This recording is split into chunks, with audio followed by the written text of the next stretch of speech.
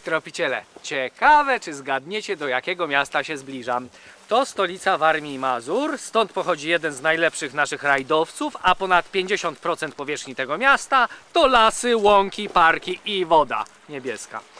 Są mniej hardkorowe metody dotarcia tutaj, ja wybrałem tę, dlatego że mi się znudziły koleje, autostrady w budowie i tym podobne rzeczy. Wy możecie oczywiście skorzystać z tego, a ja jestem ciekawy, jak będę wyglądał na końcu tej podróży.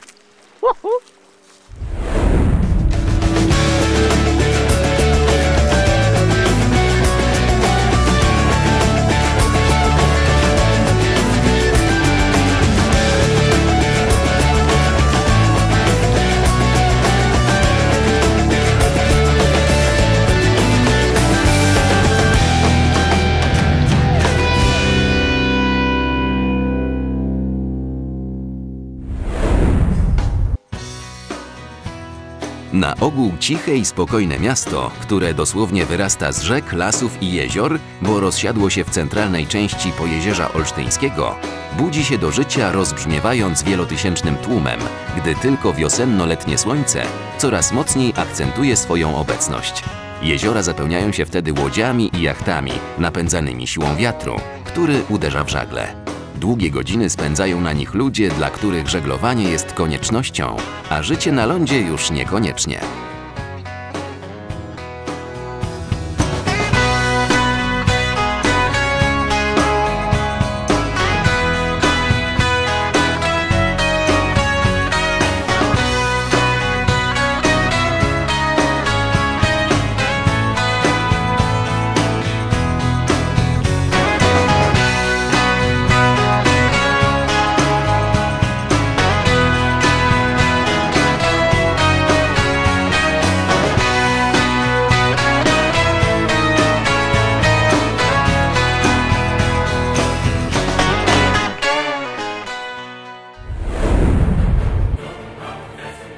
Historia miasta nie była kolorowa jak otaczająca go przyroda, która mieni się paletą barw. Na przestrzeni 650 lat przetoczyło się przez nie kilka wojen, zdziesiątkowały je zarazy i pożary. Świadkiem tych wszystkich wydarzeń jest olsztyński zamek, którego masywna sylwetka wyrasta ze wzgórza górującego nad miastem. Najwybitniejszym mieszkańcem Olsztyńskiego Zamku był Mikołaj Kopernik, który rezydował tutaj blisko 6 lat jako administrator dóbr kapituły warmińskiej, jako kanonik warmiński. Mikołaj Kopernik y, pełni swoją funkcję administratora y, bardzo, y, powiedziałbym, pracowicie spędzał tutaj czas, ale nie zaniedbywał swoich badań astronomicznych. Pozostawił po sobie niezwykłą pamiątkę w postaci tablicy astronomicznej, przy pomocy której prowadził badania nad rzeczywistą długością roku. Przy pomocy tej tablicy po prostu wyznaczał momenty równonocy wiosennej i jesiennej. To jedyna taka pamiątka po Koperniku w ogóle na świecie i najcenniejszy zabytek naszego muzeum. Obok Kopernika najbardziej znanym mieszkańcem miasta jest ksiądz Jan Hanowski, który dosłownie wydarł ze szponów ognia olsztyńskie kościoły, zapewniając im długowieczność. Armia Czerwona, wyzwalając polskie miasta, czy ewentualnie możemy to nazwać zdobywaniem, rujnowała i paliła. Olsztyn nie uniknął tego losu, ale ocalały olsztyńskie kościoły, czyżby na podstawie jakiegoś wyjątkowego rozkazu. komendant ok- okazał się człowiekiem rozsądnym i rzeczywiście wydał taką bumagę, na której e, było napisane, że kościoł, kościołów nie palić. Ci, którzy nie wykonają rozkazu, zostaną ukarani prawem stanu wojennego. I e, ksiądz Hanowski przyczepił e, to, to pismo komendanta do drzwi, głównych drzwi kościoła i dzięki temu rzeczywiście żołnierze, pijani żołnierze, oni e, mm, pili i palili. Taka była e, kolejność e, zwycięzców. E, uszanowali ten rozkaz komendanta, swojego komendanta, kościoły zostały ocalone. Dziś kościół jest perłą w koronie architektonicznej Olsztyna. Zbudowany w stylu halowym z charakterystycznymi sklepieniami sieciowymi i wielobarwnymi witrażami, stwarza atmosferę tajemniczości i zadumy. Uwagę turystów przyciąga polichromowany i złocony ołtarz główny oraz tabernakulum ścienne z malowidłem przedstawiającym obnażonego Jezusa Chrystusa z krzyżem, włócznią i cynową misą.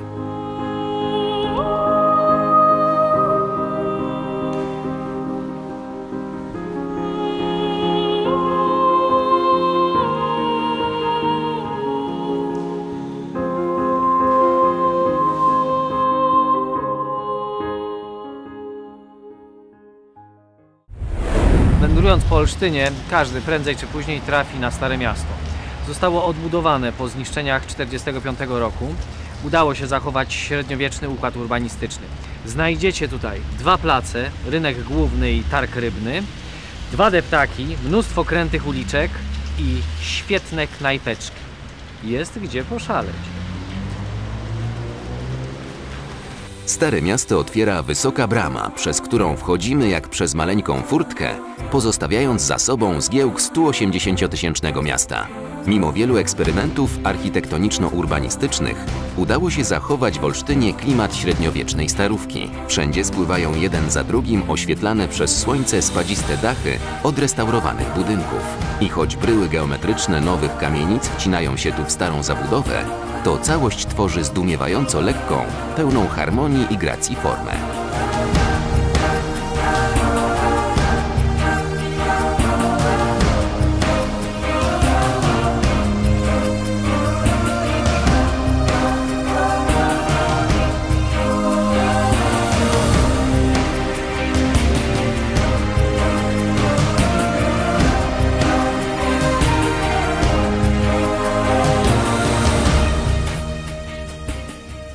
Olsztyńskie Stare Miasto ma epicki rytm, dlatego w sezonie wiele się tu dzieje. Na rynku można spotkać szalonych motocyklistów z historią w silniku, a także wziąć udział w jednym z wielu koncertów.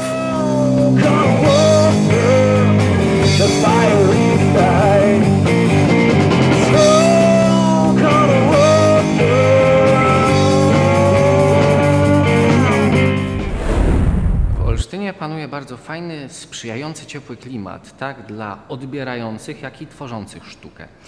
Y, Jednostki kulturalne, niezręczne określenie, ale nie boją się tutaj eksperymentu, poszukiwań, wychodzą naprzeciw temu, co jest nowe. Odbiorca przyciągany jest, interesowany y, czymś, co nie zdarza się na co dzień, czymś, co się pojawia czasami znikąd i dzięki temu zmusza do myślenia, a być może i do poszukiwań we własnej osobowości. Państwowa Galeria Sztuki BWA w Olsztynie to miejsce otwarte zarówno na artystyczne eksperymenty i happeningi oraz klasyczną sztukę.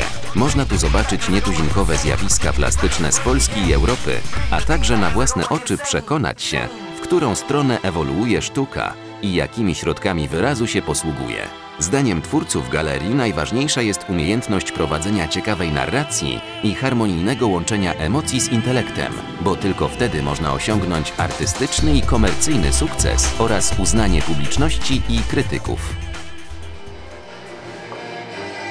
Ze sztuką chętnie eksperymentuje też Teatr Dramatyczny imienia Stefana Jaracza, któremu stuknęły już 62 lata. Na swoim koncie ma prawie 1300 premier, dlatego aktorzy i reżyserzy dążą teraz do stworzenia teatru uniwersalnego, czyli takiego, w którym sztuka, mit i tradycja przenikną się do takiego stopnia, że przekaz spektaklu będzie zrozumiały dla każdego widza, bez względu na to, gdzie się urodził, jakie kończył szkoły i jakimi mówi językami. Lękam się oziębłości, którą dla wygody mężczyźni odpłacają zbyt Wiń wszystko, a zapomnij zdradę. Nie zabijaj mnie, proszę. Przez to podejrzenie, które i mnie znieważa. I moje płomienie.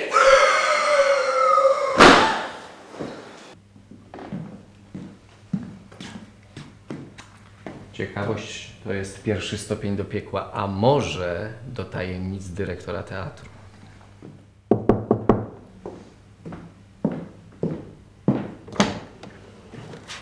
Dzień dobry, panie dyrektorze. Dzień dobry. Jaki manewr musi wykonać dyrektor, jakie założenie przyjąć, żeby zapewnić sobie obecność widzów nie tylko na spektaklu premierowym, ale w ogóle na spektaklach w teatrze? Przede wszystkim zależy nam na dotarciu do młodego widza, nawet niekoniecznie e, wiekiem. E, Chcielibyśmy, e, żeby do e, teatru przychodzili ludzie, dla których teatr jest również eksperymentem, jest polem do prowokacji artystycznych. Dlatego też rozmawiamy językiem bardzo nowoczesnym i przede wszystkim o tej rzeczywistości, w której wszyscy wspólnie żyjemy. W olsztyńskiej sztuce jest też miejsce na masowe widowiska. Chętnie zaglądają do miasta znani kabareciarze, którzy w nietypowej scenerii, bo z plażą i wodą w tle, rozbawiają ludzi do łez. I w końcu miałem, wiecie co, naprawdę kobieta ma fart. Kiedyś miała w oczach powiki, teraz ma owsiki. No po prostu...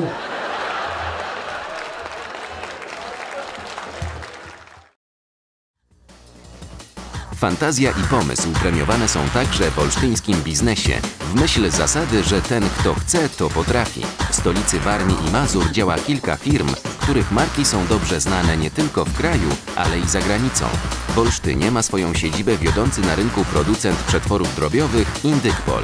Spółka przetwarza rocznie aż 100 tysięcy ton drobiu. Co czwarty kilogram jej wyrobów trafia na rynki zagraniczne, głównie do Europy Zachodniej. Miesięcznie z linii produkcyjnych Indykpolu zjeżdża prawie 1000 ton parówek, w tym najbardziej cenione przez konsumentów jedynki.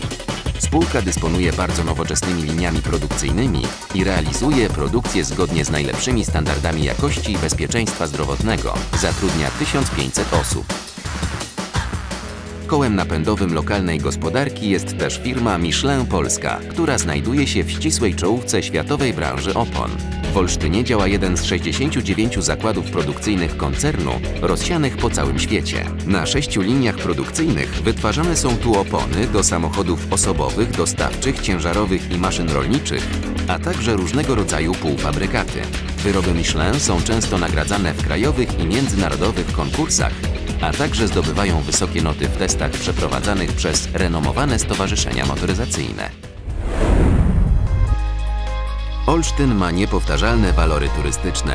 Tu, jak piszą miejscowi poeci, jeziora stoją za lasem, a rzeki zwijają się w zakola. Przez centrum w malowniczym parku rozlewają się szeroko rzeki wody Łyny, która jest wręcz wymarzonym miejscem do wyreżyserowania kajakowej lub rowerowej przygody.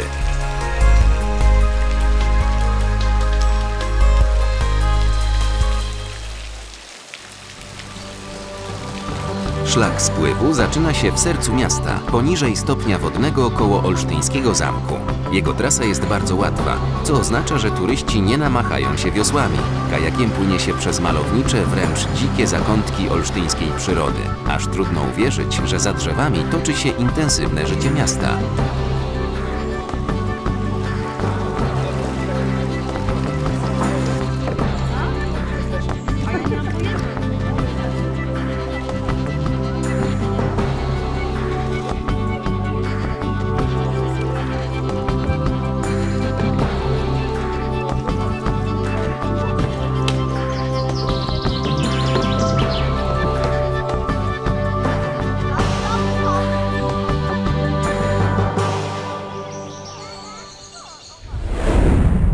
Okolice Olsztyna to nie tylko woda. 15 km od centrum są piękne tereny polodowcowe, które ktoś wymyślił, że może przekształcić na tereny golfowe. Wyżywka totalna, a nawet oprócz wyżywki nauka. Bo jeżeli ktoś nie ma bladego pojęcia o golfie, to znajdzie tutaj trenerów, fachowców, którzy go wielu rzeczy nauczą i będzie mógł naprawdę fajnie, mile spędzić czas. Polecam. Golfiści w Naterkach mają do swojej dyspozycji prawie 85 hektarów pola, które składa się z 18 tras golfowych. Na każdym polu posiany jest inny gatunek przyciętej trawy, która zapewnia piłeczce odpowiednią aerodynamikę.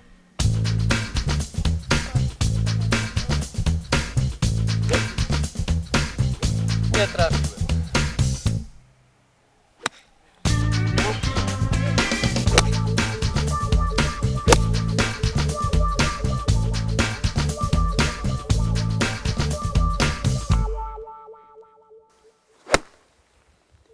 Czy każdy może nauczyć się grać w golfa? Z golfem jest tak, że każdy może się nauczyć tak grać w golfa, żeby go to bawiło. Na tym to wszystko polega. W golfie są specjalne handicapy, system handicapowy, który pozwala rywalizować ze sobą graczom lepszym i słabszym w jednym turnieju. To powoduje, że naprawdę w golfa może grać każdy. Jeden będzie grał lepiej, jeden będzie grał gorzej, ale tak naprawdę każdy może grać. Jest nadzieja.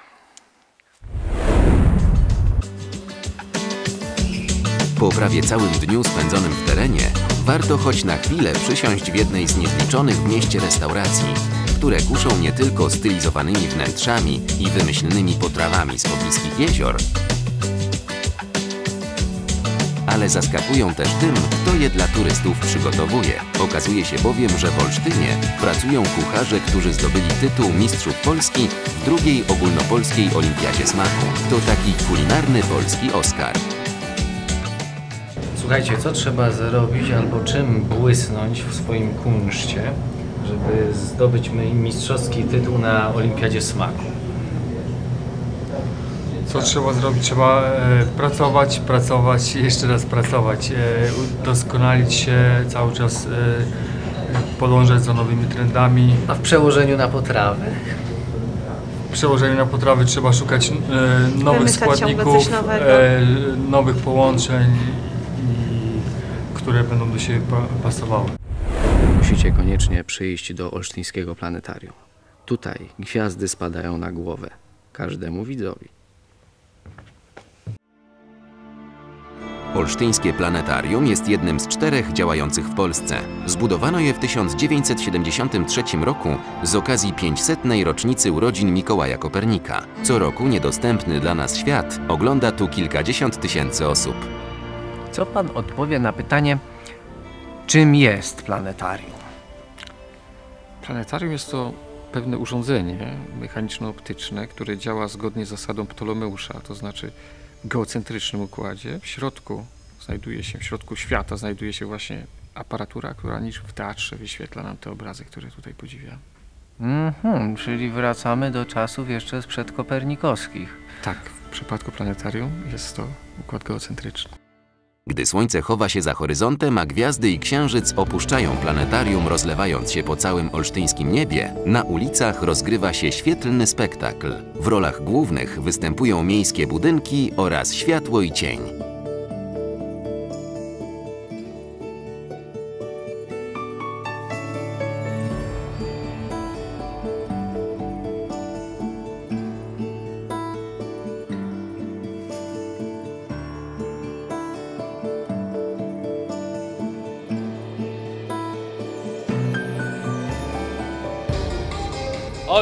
Stare, młode miasto, wbrew pozorom to bardzo precyzyjne określenie.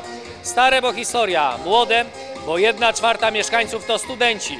To dla nich powstały kluby, pubiki, knajpeczki, wszelkie możliwe ustrojstwa służące zabawie. I teraz wyobraźcie sobie, jak na ulicach pojawiają się ci ludzie, jak wchodzą do knajp, jaka to jest chmara. Starsi duchem też znajdą tutaj miejsce dla siebie, a młodzi duchem, a starsi wiekiem mogą wybierać w szerokiej palecie barw, która tutaj jest naprawdę pełna.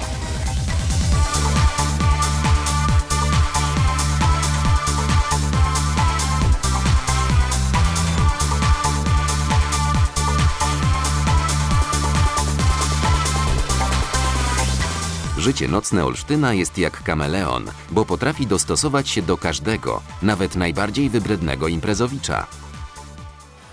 Noc można też spędzić w iście rockowym stylu. Wszystko zależy od waszej nieograniczonej fantazji.